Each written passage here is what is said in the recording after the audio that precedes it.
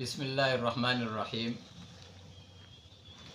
ऐसे लोग के जिन्हें दिली सुकून ना हो, बेचैनी हो रही हो, घबराहट हो रही हो, और कारोबार चल रहा है लेकिन फिर भी सुकून नहीं है, बेचैन है, और या फिर घरेलू लड़ाई झगड़े हैं तो ऐसे लोगों के लिए सबसे पहले तो ये कि वो फ़राइज़ को सही तौर पर अदा करे और वक्त के अंदर अदा करे, जैसे नमाज़ को, नमाज़ अपने वक्त के अंदर अदा करें इसी तरीके से रोज़ों का अहतमाम करें और ज़क़़त का अहतमाम करें। ज़क़़त की अदायगी जो सही मशरफ़ है इकराम से पूछा जाए और ज़क़़त की अदायगी की जाए।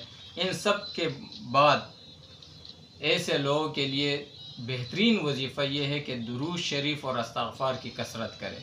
जितना ज़्यादा हो सके दुरूज शरीफ पढ़ें।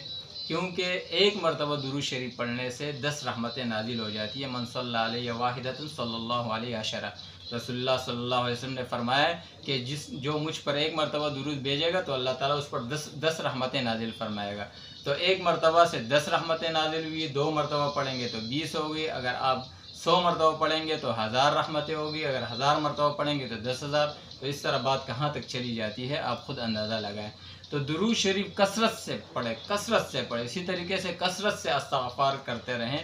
अस्तफ़िल्ला अस्तफ़िल्ला अस्तफ़िल्ला अस्तफ़िल्ला रबी मिनकुल ज़म्बी वातूब ले तो ये एक बेहतरीन वजीफ़ा है। आपको दिली सुकून होगा दुरू शरीफ पढ़ने से। आपके घरेलू लड़ाई झगड़े जो वो ख़त्म हो जाएँगे।